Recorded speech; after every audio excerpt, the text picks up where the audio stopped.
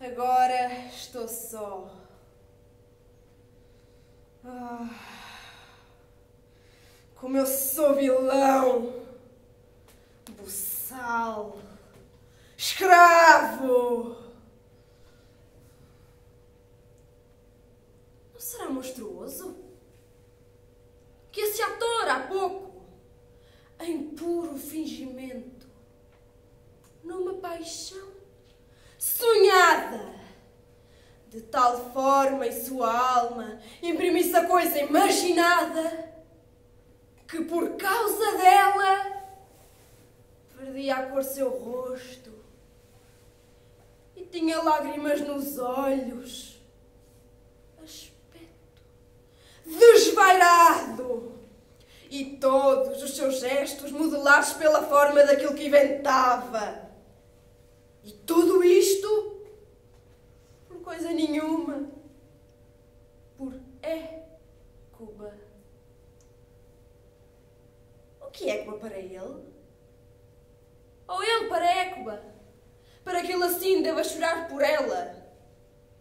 Que faria ele se tivesse uma causa e um motivo de paixão iguais àqueles que eu tenho? Inundaria com as suas lágrimas o palco rasgaria todos os ouvidos com terríveis palavras, enlouquecendo os culpados, alarmando os que estão livres, confundindo os ignorantes, transtornando as próprias faculdades da vista e do ouvido. Eu, porém, inerte ralé feito de lama, tonto e vago como um João Pateta, esvaziando-me do peso da minha causa, me calo. Não erga a minha voz nem por esse rei, sobre cujo direito e tão amada vida foi praticada a fraude tão maldita. Serei cobarde? Quem me chama vilão? Quem me parte a cara? Quem me arranca as barbas e me as atira à cara? Quem puxa-me nariz e me enfia nas goelas a mentir até ao fundo dos meus pulmões? Quem? Parece que sou capaz de aceitar isso tudo, pois é evidente que tenho fígado de pomba. Falta-me fel para amargurar quem me oprime. Senão, já teria engordado todos os abutres desse país com as tripas desse escravo. Vilão sangrento e sem pudor. Traiçoeiro e lascivo sem remorsos nem alma. Oh, vingança! Ai, como eu sou burro! É realmente muito corajoso.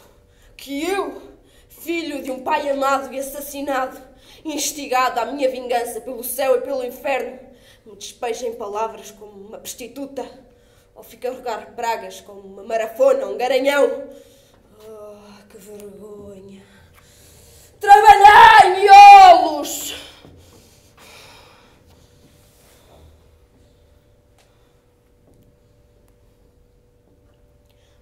Ouvi contar que certos criminosos, assistindo a uma peça, foram de tal forma e até ao fundo da alma atingidos pela arte da cena que logo confessaram seus maus atos. Pois o assassínio, embora não tenha língua, há de falar com boca miraculosa. Vou ordenar aos atores que representem uma cena igual ao assassínio do meu pai em frente do meu tio. Vou sondá-lo ao vivo. Vou espiar o rosto dele.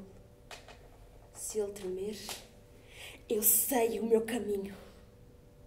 O fantasma que eu vi pode ser o demónio, pois o demónio tem o poder de tomar um aspecto amável. Talvez ele, por minha fraqueza e melancolia, pois tem grande domínio sobre almas como a minha, me engane para me perder. Preciso de provas mais evidentes. Por isso, caçarei com o enredo da peça a consciência do rei.